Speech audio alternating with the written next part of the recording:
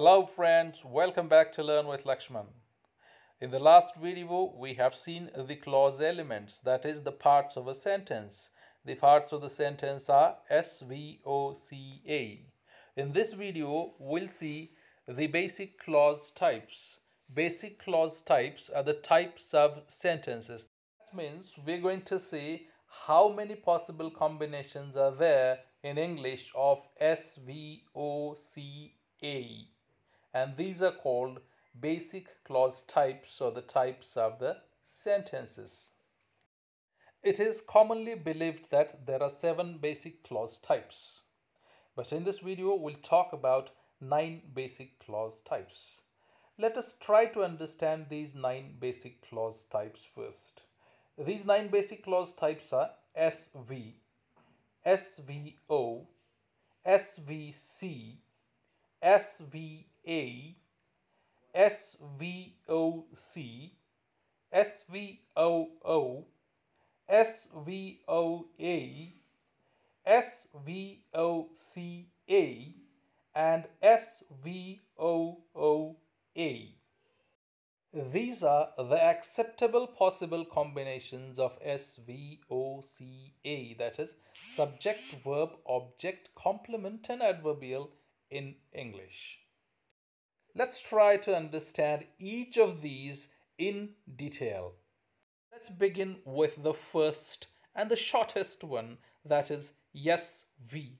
SV is subject plus verb. A sentence formed with the help of a subject and a verb is SV.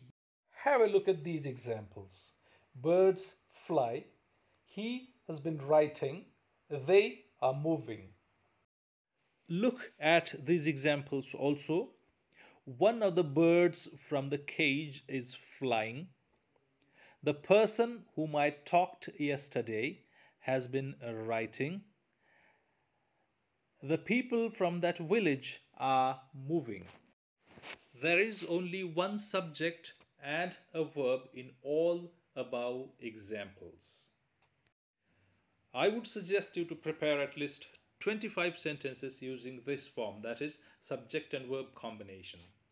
Let us move on to the next basic clause type, that is SVO, oh, that is subject plus verb plus object. The function of a subject and that of an object can be performed only by the nominals, that is either by a noun, a pronoun, a noun phrase or a noun clause. We can have a sentence containing a subject, verb and object. It is the most common pattern in English. Let us see a few of the examples. She has been writing the letters. The people have been writing the letters. They are telling the stories the people are telling the stories. One of them will be going home. Ravi has taken a book. All these sentences follow the pattern subject plus verb plus object, that is SVO in short. Let us look at these examples too. Meena told that she was writing. That Meena was writing was not the truth. In both these sentences, that she was writing and that Meena was writing are the finite noun clauses and they function as the object and subject of these two sentences respectively. Let's move on to the next basic clause type or the next pattern of sentence that is SVC SVC is subject plus verb plus complement. A noun phrase or an adjective phrase can function as the complement in the sentence. They can either function as the subject complement or the object complement in the sentence. Have a look at these sentences and try to understand the pattern subject, verb and complement. Priya is a nice girl. In this sentence, Priya is equal to nice girl. She is very famous. In this sentence, she equals to very famous. In the sentence, Mira looks attractive. Mira is attractive. In the sentence, there are boys. They refers to boys. And in the sentence, I am feeling happy. Happy is used for I. Therefore, all these are the complements. Now look at these sentences. Anita was a clerk. In the sentence, Anita was a clerk, Anita is a noun, was is a verb, and a clerk is the complement. It is a noun phrase functioning as the complement. Similarly, in the sentence, one bird seems unhappy.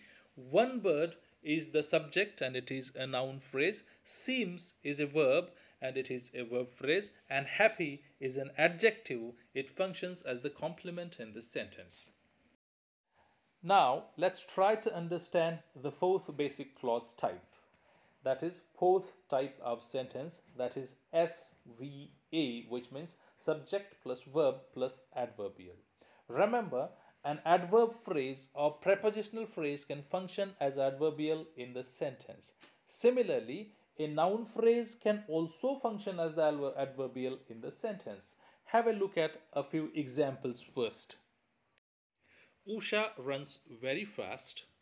She has been living in Kochi. They were walking slowly. One of them will be going tomorrow. Ganga loves unconditionally. These examples very fast, in Kochi, slowly, tomorrow, and unconditionally are the examples of adverbials. Adverbial is the part of the sentence that gives additional information about the verb. Let's have a look at these sentences also. The first sentence is I cannot run fast. In the sentence I cannot run fast, I is a pronoun and it is functioning as the subject. Cannot run is a verb phrase and it is functioning as the verb, while very fast is an adverb phrase and it is functioning as the adjunct or adverbial of this sentence. In the second sentence, one bird flew through window. One bird is a noun phrase and it is functioning as the subject while flew is the verb phrase and it is functioning as the verb and through window is a prepositional phrase and it is functioning as the adverbial or adjunct of this sentence. While in the last sentence the man has worked very seriously the man is a noun phrase and functioning as the subject has worked is a verb phrase and functioning as the verb and very seriously is an adverb phrase and is functioning as adjunct in this sentence part of the sentence that describes the action or the verb is called adverb. Sometimes it adds to the meaning of the whole sentence. Adverbs are the words that describe the action and not the subject or the object of the sentence.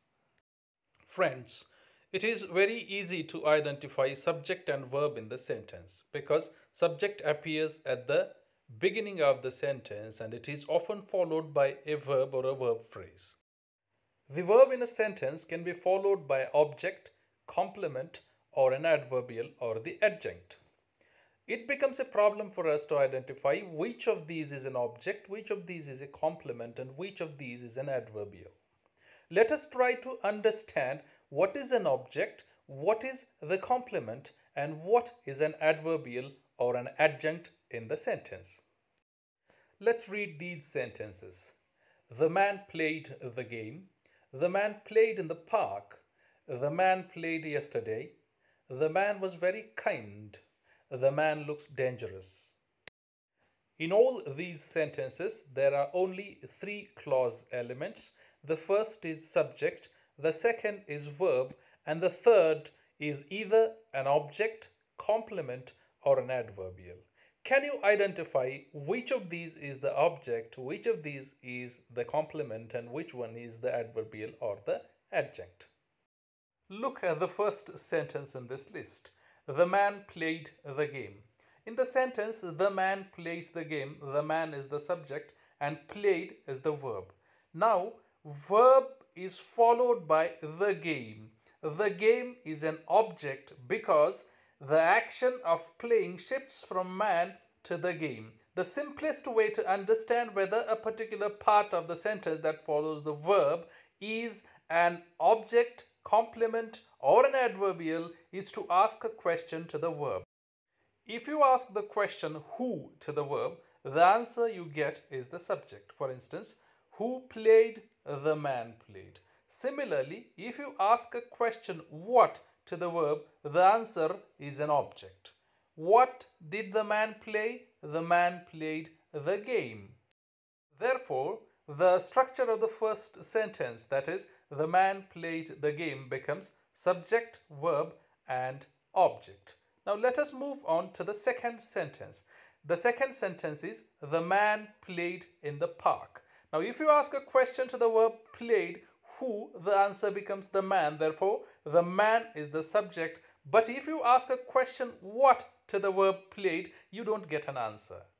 That means the part that follows the verb in this sentence is not an object. It must be something else. It must be either a complement or an adverbial. Now let us try to understand the difference between adverbial and the complement. Adverbial or adjunct is something that gives additional information about the verb, not about the subject. Okay, so if you ask the questions like when, where, how to the verb, the answer you get is an adverbial. Look at the second sentence in this list. The man played in the park. If you ask the question where to the verb played, you get the answer in the park. That means in the park is an adverbial or an adjunct. Similarly, in the third sentence, that is the man played yesterday, you ask a question when to the verb and the answer is yesterday. That is that means that is also a adverb or an adverbial. Thus, the structure of the second sentence in the list, that is the man played in the park is subject, verb and adverbial or the adjunct and also the structure of the third sentence, the man played yesterday is subject, verb and adverbial. Now let us try to understand what is the complement. Complement is something that speaks about either the subject or the object. That means complement speaks about the nominal parts in the sentence. Nouns, pronouns or the noun phrases. Look at the fourth sentence. The man was very kind. In the sentence, the man was very kind. The man is the subject, was is the verb, and very kind is a complement because very kind speaks about the man and not about the verb. Therefore, it becomes a complement. Now look at the last sentence in the list. The man looks dangerous. In the sentence, the man looks dangerous. It is obvious that the man is the subject and looks is the verb. In this sentence, the part that follows the verb, that is dangerous, does not receive the action from the subject. Therefore, it is not an object. It is neither something that gives additional information about the verb. Therefore, it is also not an adjunct or the adverbial. Then what does it do? it connects back to the subject, the man. How is the man? The man is dangerous. That means the man looks dangerous. Looks here is a linking verb that links the complement to the subject. Therefore, the structure of this sentence is also subject, verb and the complement. These are the four basic clause types we've studied so far. I don't want this to be a very long video. So I'm going to stop here.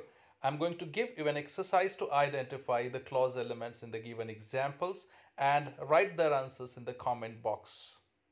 The examples are she is beautiful. Number two, the dog chased the cat.